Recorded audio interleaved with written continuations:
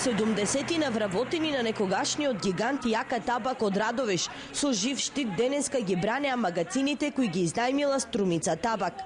Бараат да се приспита кои се вестинските собственици на ова тутунско предпријатие и што содржи договорот подпишен помеѓу Јака и Струмица Табак. Без наше присуство, без ние ние нешто да знаеме што има наведено, сакаме да го видиме член по член да го образложиме дали прифаќа секој еден вработен тука. Вработените се пожалија дека повеќе од 8 месеци не добиле ниту плата, ниту пак им се платени придонесите.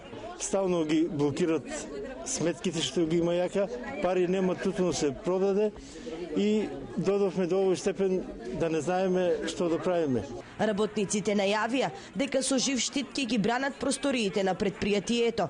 Пред три дена поднеле барање за стечена постапка, бидејќи им било побарано да си дадат отказ, а потоа да ги вработат како сезонски работници во Струмица Табак.